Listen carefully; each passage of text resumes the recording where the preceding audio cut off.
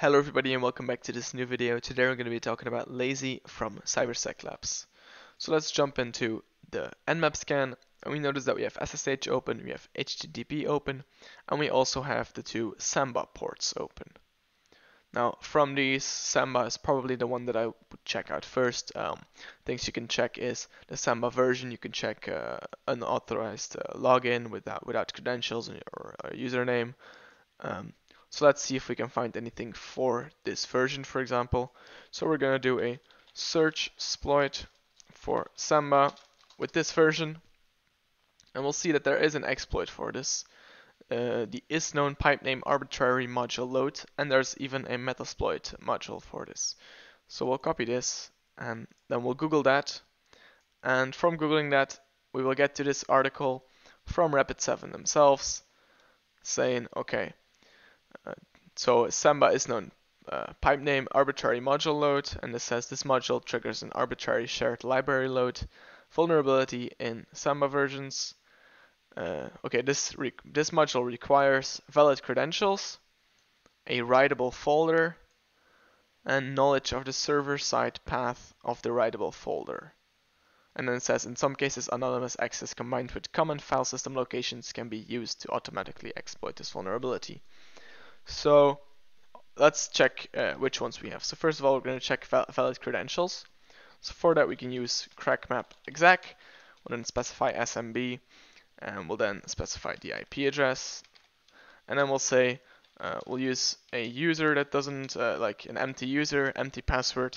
And then we'll also specify dash dash shares. So if it finds a match, it's going to show us which shares we can connect to. And we see, okay, that was a valid login. So you can log in without a username and without a password and we have read write permissions over this public share. So let's see, so we have valid credentials now, and we have a writable folder. We don't really have knowledge of the server-side path, but um, that might be guessable. For example, public uh, could be a public user, so in slash home, or, or uh, if that's not the case, we could check different stuff. Um, so let's take a look at this Metasploit module right now. So we're gonna we're to search for, uh, was it, is known pipe.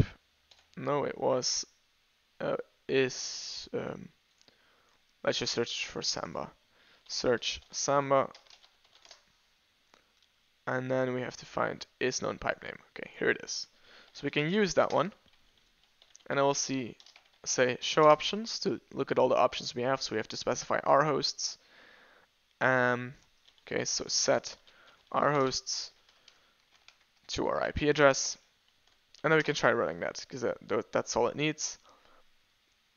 Um, okay, so it seems like it's doing something. Um, so let's see, it uh, retrieved the remote path of the share. Then the share has server-side path uh, slash home slash public, so it was able to figure that out on its own, and that's what we guessed as well. So then it's going to upload a payload. Uh, it's then going to try loading the payload. Can't find them in two different ways. Then it's going to try a new payload. Trying to load that one. And the payload response. And now we have a command shell. So if we do ID now, we see, okay, we're root. This is an SH shell. Let's quickly see if we can upgrade upgrade this one. So I'm quickly going to make this TTY by spawning a bin bash with Python. So there we go. Now we have a better shell. If we say who am I, we see hey, we are root of this system now. So that was everything for this box. It was a a very uh, easy box showing you a one of the the things with with SMB that maybe some people overlooked to look at the version. Um, but that was it for this video. I hope you enjoyed it as always, if you have any questions, leave them down below in the comments and I'll see you back for another video. Take care.